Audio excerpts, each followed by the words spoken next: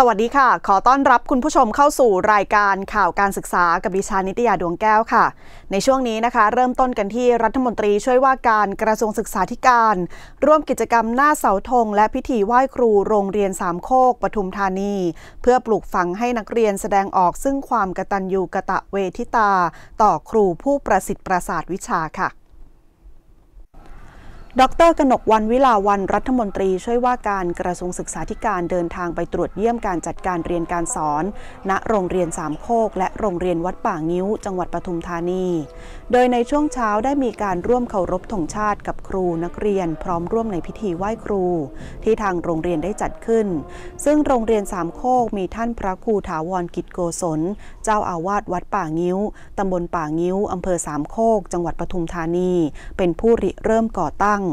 โดยได้เชิญผู้ปกครองนักเรียนในอำเภอสามโคกและอำเภอใกล้เคียง มาประชุมที่วัดป่างิ้ว เมื่อวันที่ 28 มีนาคม 2503 เพื่อปรึกษาหารือการจัดตั้งโรงเรียนมัธยมวิสามันรุ่น 4 ภายในบริเวณวัดป่างิ้ว ซึ่งทางวัดยินดีให้ใช้ที่ดิน 12 ไร่ โรงเรียนสามโคกได้โอนไปยังสังกัด องค์การบริหารส่วนจังหวัดปทุมธานี เมื่อวันที่ 7 พฤษภาคม 2552 จัดการเรียนการสอนในระดับมัธยมศึกษาปีที่ 1-6 มีนักเรียนรวม 4,200 คน มีครูและบุคลากรทางการศึกษารวม 285 คน จัดการศึกษาภายใต้วิสัยทัศน์โรงเรียนมาตรฐาน การแต่งกาย กีฬาเด่น เน้นภาษา คุณธรรมและประเพณี มีความปลอดภัยใส่ใจเศรษฐกิจพอเพียง ก้าวไกลวิชาการสู่มาตรฐานอาเซียน นอกจากนี้โรงเรียนยังกำหนดแนวทางในการดำเนินงาน 3 โคก 60 ปี ในนวัตวิถี New Normal ด้วยมาตรการในการรับมือกับสถานการณ์แพร่ระบาดของโควิด -19 ปัจจุบันสังกัดองค์การบริหารส่วนจังหวัดปทุมธานี กระทรวงมหาดไทย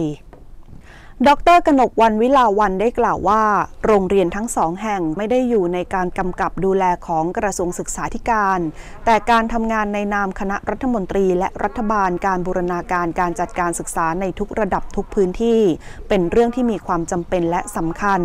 เพราะเรื่องของการศึกษาไม่ว่าจะอยู่ในสังกัดใด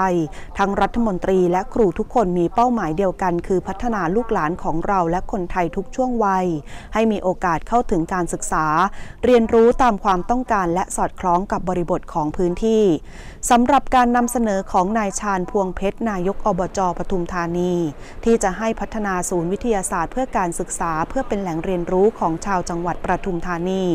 ได้จัดสรรงบประมาณ 80 ล้านบาท ให้แก่ศูนย์วิทยาศาสตร์รังสิตเพื่อนำไปพัฒนาให้เป็นศูนย์วิทยาศาสตร์มีชีวิตเรียบร้อยแล้ว นอกจากนี้ ดรกนกวันวิลาวันได้พบปะพูดคุยกับสภานักเรียน เพื่อรับฟังเสียงสะท้อนปัญหาต่างๆ ในการเรียนการสอน พร้อมทั้งได้ฝากข้อคิดว่า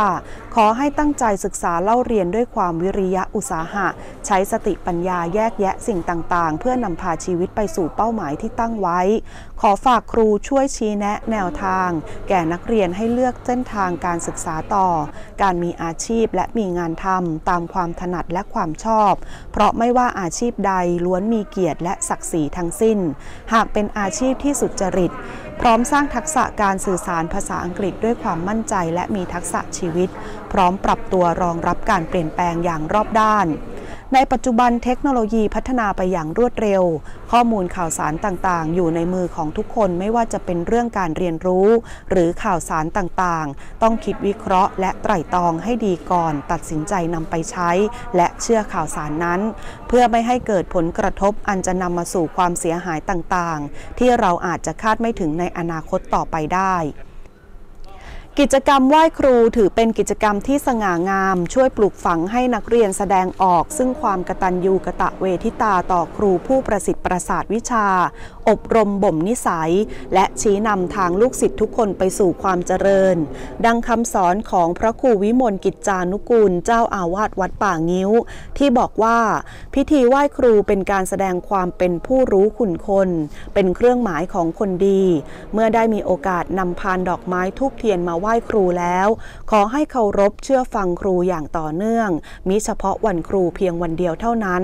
และขอให้นักเรียนทุกคนน้อมนำสิ่งดีๆ จากพิธีไหว้ครูอันศักดิ์สิทธิ์ และเป็นเอกลักษณ์ของไทย ไปสู่การพัฒนาตนเอง ให้มีความพร้อมเป็นพลเมืองที่ดีของโรงเรียนและจังหวัดปทุมธานี เช่นเดียวกับกิจกรรมหน้าเสาธง ทั้งการเชิญธงชาติ การร้องเพลงสรรเสริญพระบารมี เพลงมาร์ชโรงเรียน การสวดมนต์ไหว้พระการไหว้ทำความเคารพซึ่งกันและกันของนักเรียน ตลอดจนการนั่งสมาธิและแผ่เมตตา เป็นสิ่งที่ช่วยหล่อล้อม และปลูกฝังคุณธรรมจริยธรรมแก่นักเรียนอย่างรอบด้าน ที่จะเป็นทักษะติดตัวและอยู่ร่วมในสังคมอย่างมีความสุข